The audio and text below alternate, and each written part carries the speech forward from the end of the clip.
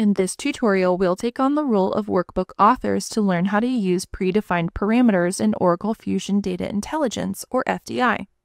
FDI pre-built content often includes predefined parameters. These are useful for typical parameter use cases because it applies the correct period structure in the latest fiscal year as initial filters for the dashboard.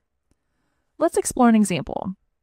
I'll open my ready-to-use profit and loss dashboard that reflects my general ledger data and select the Edit icon.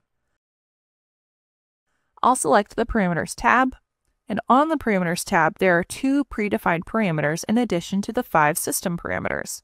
Fiscal calendar and fiscal year are delivered in this pre-built content. Unlike the system parameters, I can modify these.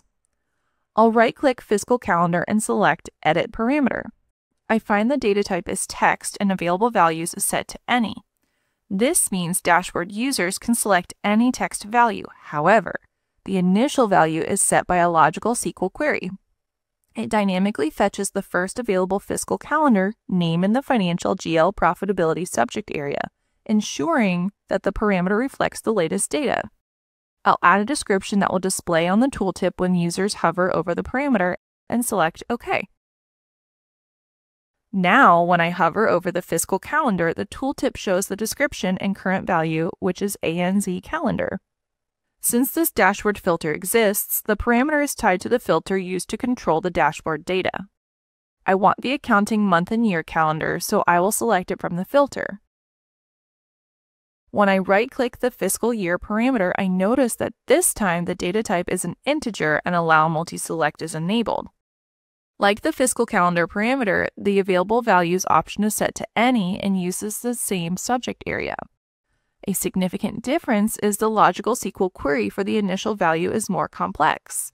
The query will only return the list of years when a valid accounting calendar is selected. This is because the fiscal calendar parameter is being referenced here. I'll click Cancel and select the fiscal year filter control. Since multi-select was enabled, I can select Add and remove one or more years from the filter. I'll select 2024.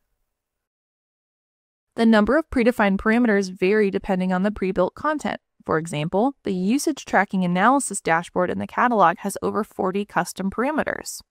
Find additional videos in this series and more resources on using Fusion Data Intelligence in the links below.